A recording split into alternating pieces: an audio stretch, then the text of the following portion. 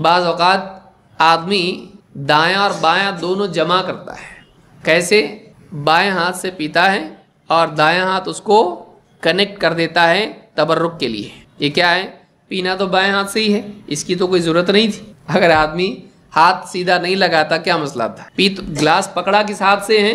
Left hand से। तो पीता तो उसी से है। लेकिन क्या करता है? नीचे हथेली भी जोड़ देता है करंट लगाने के एतबार से। कि हाँ कम से कम दिल को तसल्ली मिले कि सीधा हाथ भी मशगूल है, सीधा हाथ भी लगा हुआ है। क्या ज़रूरत है इस चीज़ की? ऐसे लोगों से कहा जाए भाई, मत करो। ऐसा है मुसलमानों का तरीका नहीं, शैतान का तरीका है। बाएँ हाथ से खाना पीना किसका तरीका है? शैतान का। कहते हैं, गिलास खराब होगा। आपका मुँह उसको लग रहा है, वो ख़राब नहीं हो रहा, आपका हाथ लग जाएगा ख़राब होगा।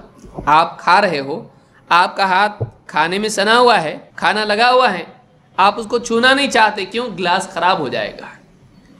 लेकिन आपका मुँह भी तो वैसा ही है, जो उससे ज़्यादा ख़राब है कि सारी चीज़ें मुँह में भी तो गई, चबाया है उसको, हाथ से तो चबाया नहीं ना। अब वो जो चबाया हुआ मुँह में का है, आप उससे गिलास से पी नहीं रहे तो क्या उसको मुँह नहीं लगा रहे? आप क्या ऊपर से पियेंगे उसको, या स्ट्रॉ डाल के पियेंगे उसके अंदर? कैसे पियेंगे? तो बहुत सारे लोग इतनी ज़्यादा पाकिजगी इख्तियार करते हैं कि अपने आप को इस्लामी अखलाक और आदाब से भी पाकिज़ा कर लेते हैं। ऐसा नहीं करना चाहिए। बाएँ हाथ से आदमी खाए पिए नहीं। बाएँ हाथ से आदमी सफ़ाई करता है, उसके लिए वह हाथ है।